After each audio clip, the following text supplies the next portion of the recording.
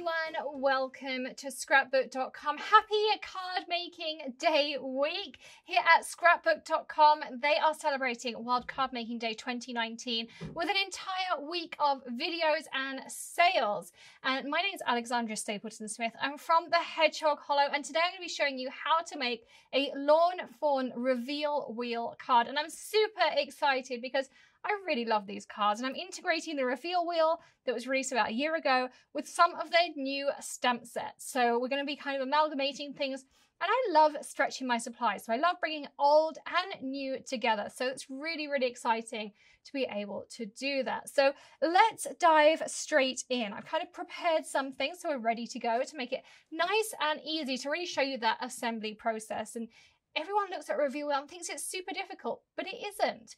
All you need is the reveal wheel die set, so that cuts out like this, and there's lots of different inserts that you can have. So here I've used like the one that looks like a rainbow, but there's an ice cream, there's a pumpkin, there's a snowflake, there's an apple, there is so many different options. So you can choose something for any occasion. So I've already prepared that.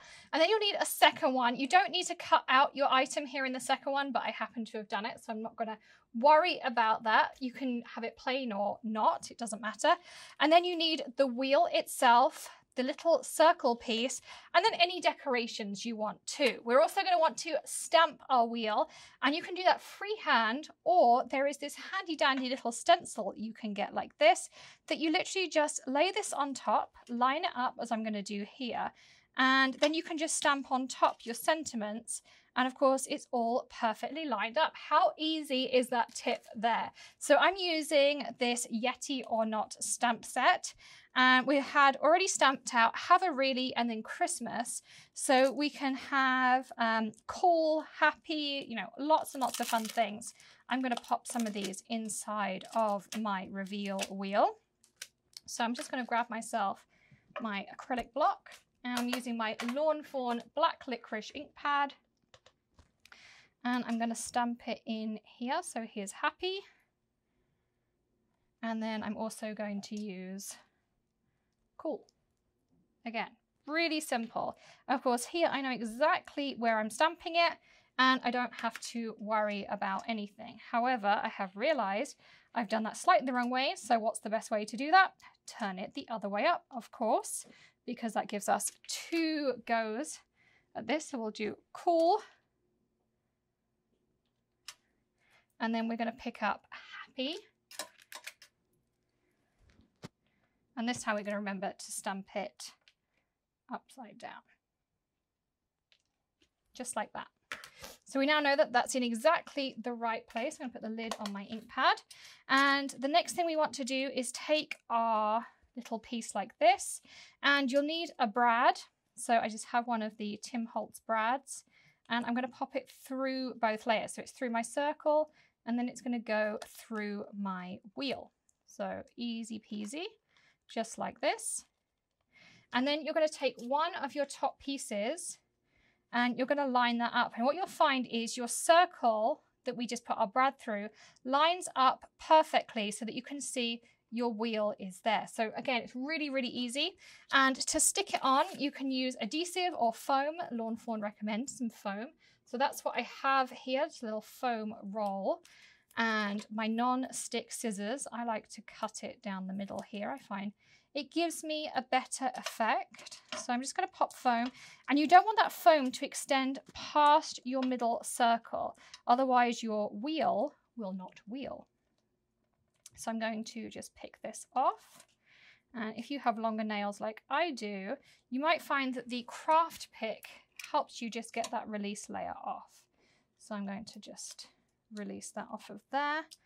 And I don't want to lose my little tip from my mountain. So what we're going to do is turn this the right way up, line everything up, and then press it down firmly and make sure we're stuck. And what you'll then be able to do is turn our wheel.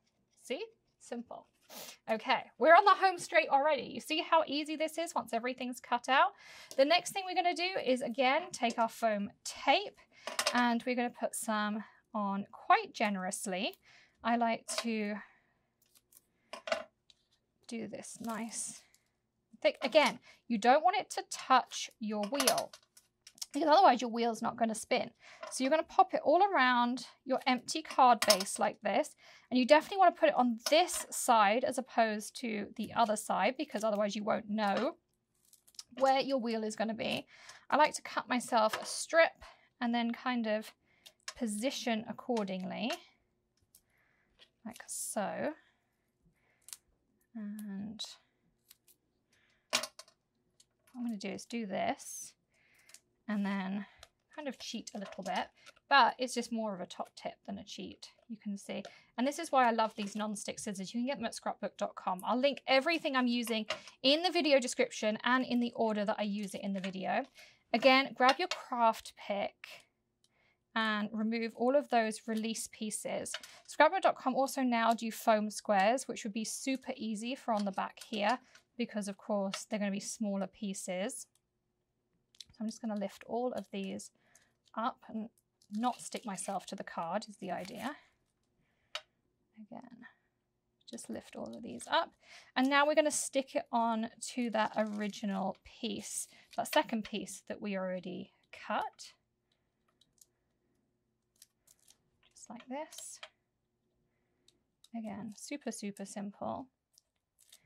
So I don't want, um, I mean, interactive cards are so trendy and they're so cool, and I don't want people to feel intimidated by them. I really want people to feel kind of empowered by them and be like, oh, well, this was really easy. Um, and I want to make more of these. So now what I'm going to do is take this piece again, make sure it mirrors the top, and then line it up just like this. So you basically create that sandwich, and now you can see I turn my wheel. I mean, how easy is that? Really, really nothing difficult and you can see nothing that um, scary. Now I'm going to take some liquid adhesive. I like the Nuvo Deluxe and scrapbook.com sells that too. Again, if you do pre-cut that piece, you want to avoid it and I'm just popping my adhesive all over. This is a really nice strong one, so it's not going to fall off the front. And this is one of the scrapbook.com pre-scored card bases. Again, anything that makes my life easy, I love. So I'm going to open this up and stick it on the front. And then we get to do the fun part, which is the uh, decoration, of course. Okay, so that can be drying. Now, in the meantime, we get to stick our pieces on. So this is the Lawn Fawn Mountain Range. And I'm going to just grab some Nuvo Deluxe just to stick some on here like this. And of course you want a nice sturdy card base. And these are a Neenah cardstock, so they're nice and thick. So they're going to hold everything. I'm just going to work out which peak goes with which. I think actually that might be that one. This goes here. This goes here. I just like to test these things out first just before I stick it down because of course the one thing you don't want is to stick it in the wrong place. So now I'm just going to add my adhesive on and I love doing this with tweezers. I already have those here ready to go to make my life easy and the great thing about this adhesive is it dries clear. So if I get any kind of ooze, oops, I don't want it to go in my interactive bit, then I don't have to worry. Like so.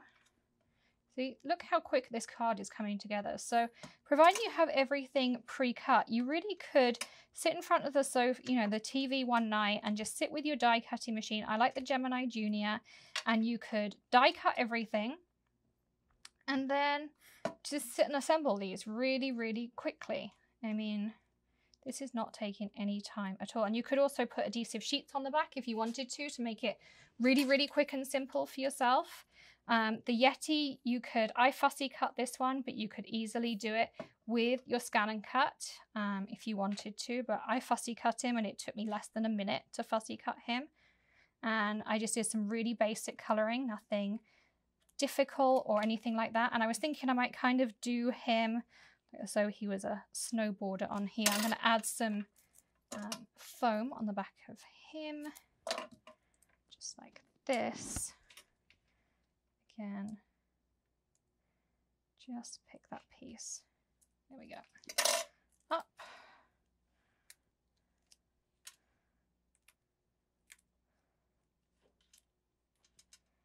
And then I already have my sentiments done here. Again, something else you could do in bulk and then just snip. Really simple. So I'm all about making card making simple.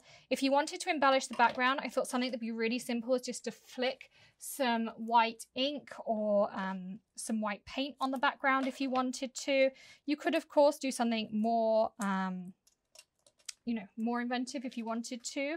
You could do like an embossing folder or a snowflake die with glitter behind it.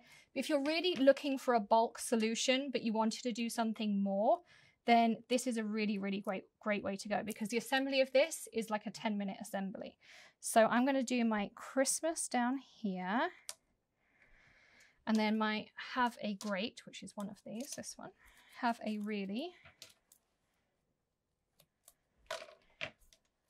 and to get the foam in the right place so I don't have to trim it this time.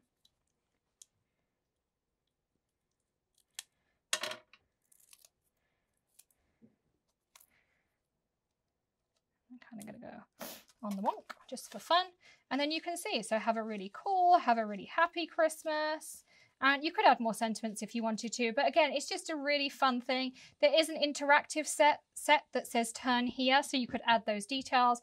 As I say, you could kind of splatter the background if you wanted to, but this is like a 10 minute assembly. So I really wanted to show you how to make interactive cards fun, quick, and easy. So I hope I've done that. Again, happy World Card Making Day. I hope you'll hit subscribe and ring the bell and give this video a thumbs up. Everything I've used is in the description below and it's here at scrapbook.com. They've got tons of sales going on for World Card Making Day, so check all of those out all week long. They've got amazing videos going on too. And of course, hop on over to the Hedgehog Hollow and come say hi there as well. I hope you've enjoyed this video and I'll see you again soon. Bye.